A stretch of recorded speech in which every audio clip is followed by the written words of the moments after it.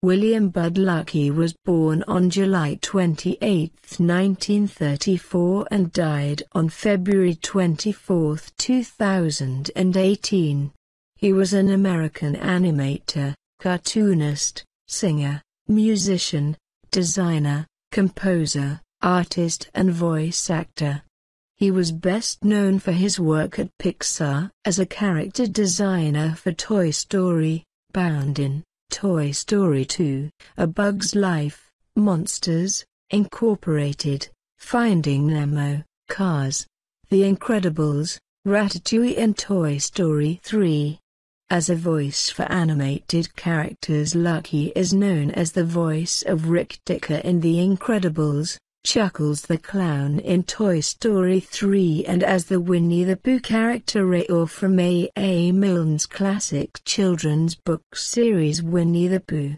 At age 69, Luckey wrote, directed, composed and performed as the solo singer, narrator on the Pixar 2004 animated short film Boundin' which won the Annie Award, as well as an Academy Award Oscar nomination in the Best Animated Short Film category. Luckey semi-retired from Pixar in 2008 but continued to work with the studio from time to time and with the parent Disney organization primarily as a performer of character voices, up until his death in 2018. He retired permanently in 2014. Luckey was born and raised in Billings, Montana. He served in the United States Air Force during the Korean War.